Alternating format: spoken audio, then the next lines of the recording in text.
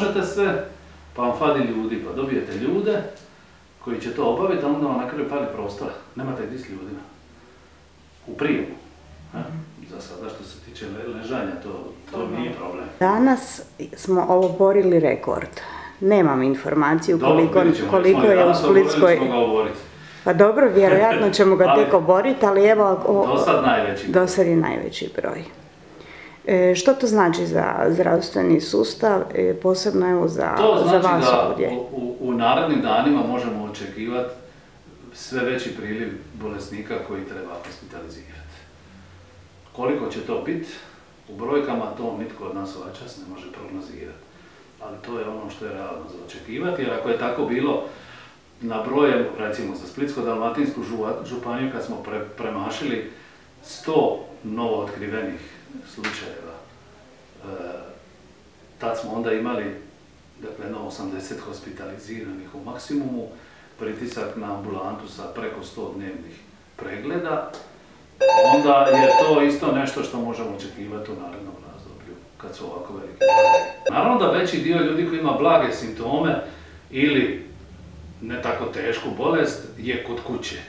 Ali svako sa srednje teškom kliničkom slikom će doći ovdje, a pogotovo oni koji imaju problema sa disanjem. Znači oni dolaze, mi, mi, mi, mi, ne pregledavamo sve njih jeli, koji su otkriveni, to je izvjesno. Ali otkrivamo, ali ovaj, pregledavamo i dobivamo na prijem oni koji su ozbiljnije bolesti. Ovaj Ako- čas pritisak nije velik. Znači recimo imamo dnevno oko 40 do 50 pregleda Ali kad se to udvostruči, onda to već postaje problem. Problem zbog toga što nećete imati dovoljno ljudi i Zbog dovoljno toga što se prostora. radi, e, imamo mi ljudi dovoljno, ali nam je teško s prostorom.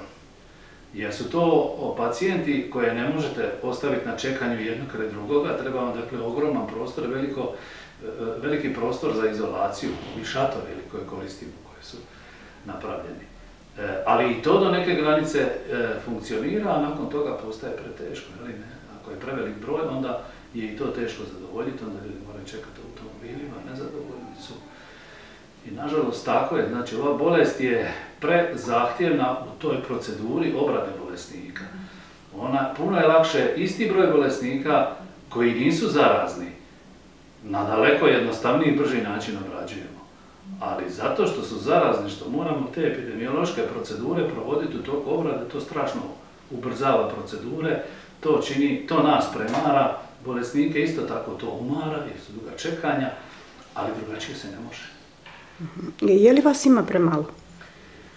Pa u cijelom zdravstvenom sustavu nas ima malo. Mi smo sad preraspodijelili ljude i pokušavamo znači zatvoriti ovu, ove potrebe koje se odnose na epidemiju. Ali onog časa kad mi prebacujemo ljude da bismo zadovoljili COVID, svima mora biti jasno da na drugim punktovima će biti manjak. Ne postoji, znači visoko obrazovani kadar se ne može odjednom stvoriti. Mi ne možemo namnožiti ljude. Dobro, kod liječnika je to poseban slučaj, E, zato... To je sad recimo trenutno najveći, najveći problem sa sestrama. Veliki je i sa liječnicima, ali ni približno kao što je sa medicinskim sestrama. Aha, e, što znači da medicinski sest... Nedostatak medicinskih sestara. Dakle, mi u ovom času, naša bolnica, više od 150 sestara bi trebala odmah ovdje sada za jedan normalni pogon, a za pogon koji je opterećen i još više. Znači nismo baš puno razmišljali ovaj prije. Ma dobro, niko normalan nije razmišljao o tome da bi trebala biti epidemija i da sad mi za epidemiju obrazujemo kadrove. Ali nažalost nismo mi zapošljavali, obrazovali i zapošljavali kadrove niti za onu redovnu situaciju, pa smo zato sada u dodatnom problemu. E, je li COVID zapravo baš opasna bolest? Kako, kako bi to Definitivno je definirali? opasna bolest. COVID je teža bolest od gripe. Svi postoci o kojima ljudi pričaju, da je veliki broj asimptomatskih, to je istina. Veliki broj asimptomatskih, ali mi moramo gledat ne postotke, nego ukupne brojeve. 1% oboljelih na tisuću nije isto što je 1% na milijon. 1% na milijon znači da će se na vratima bolnice pojaviti toliki broj ljudi kojega će biti teško izdržati. A 1% na tisuću će bolnica bez problema obaviti.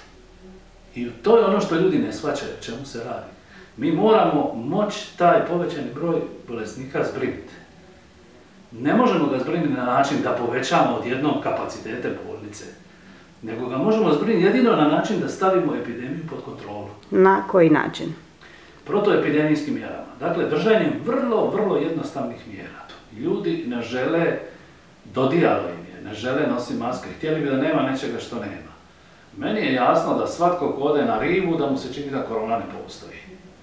Ali da sjedne na hitni prijem bolnice, onda bi mu to postalo više nego jasno. A ako bi završio on ili neko od njegovih bližnjih u bolnici, onda bi shvatio situaciju. Srećom, oni čine manji dio populacije, ali ono što mi moramo obaviti kao struka postaje sve teže i teže. A to je rezultat djelovanja ili ne, nedjelovanja, nepridržavanja e, ljudi u općoj populaciji. Dakle, oni su ti koji moraju pomoći zdravstvenom sustavu da može normalno raditi. Sam po sebi zdravstveni sustav ima svoje granice, svaki, i američki, i engleski, i francuski, dakle nismo mi tu nikakva iznimka. Svi se žale da je broj bolesnika toliki da ga zdravstveni sustav više ne može apsorbirati i da to postaje sve teže i teže. Dobro, Dakle, ali... Bez suradnje sa pučanstvom koje će se pridržavati mjera, zdravstveni sustav sam za sebe ne može učiniti sve. Dobro, ali u jednoj Njemačkoj već jako dugo se plaća kazna. Maske su skupe, puno skuplje nego što su to kod nas. I ako netko ne stavi masku tamo gdje je ona propisana, on plati veliku kaznu. Hajdemo opet se vratimo, jer imamo stvarno primjer Istre u kojoj ne postoji kazna, ljudi se pridržavaju. Dakle, definitivno nije, ne možemo mi kazati da je to uvijek nužno, ali dođe jedan moment, a ja sam recimo osjetio da je to moment u osmom mjesecu kad ljudi očito se ne pridržavaju. I da onda mora postojati mrkva i batina. Dakle, da bez osjećaja da možete biti kažnjeni, da već onda ono što vi propisujete je pitanje koliko ljudi ozbiljno shvaćaju. Dobro, ali e, kod nas su političari napravili jednu veliku pogrešku time što nisu dali svojim primjerom. Nisu pokazali svojim primjerom na koji način se ponaša, za pučanstvo su govorili jedno, a oni su činili drugo i pučanstvo više ne vjeruje. dakle, mi to vidimo na svim mogućim razinama i, u bilo koji segment društva da, da, da, da zađete, da se ljudi toga ne pridržavaju. Moja moj naputak bio za moje osoblje u šestom mjesecu, dakle kad smo izašli iz lockdowna, prvo što sam rekao, sad je vrijeme za maske. Da, u lockdownu čak manje nego sada. Jer se počinjemo slobodno kretati i komunicirati i šansa za prijenos virusa postaje sve veća i veća. On nije nestao iz populacije, samo pitanje vremena kad će narasti. Nažalost, drugi to nisu shvatili. Ljudi imaju taj osjećaj da ako nema puno bolesnih u bolnici, da se ništa ne događa.